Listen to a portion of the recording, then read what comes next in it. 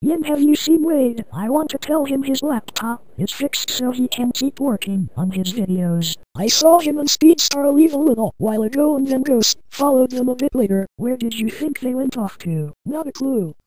There's a three-way I can get behind. Gray?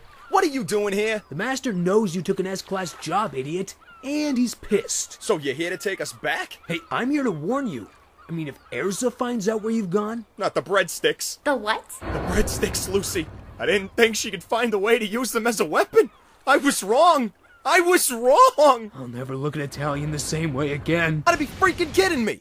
What else could go wrong tonight? You heard the woman, lads. Full speed to Galuna Island. Yes, sir! There you have it, milady. Is there nothing we can do to make your voyage more pleasant? Well, there is one thing. Do you have any breadsticks?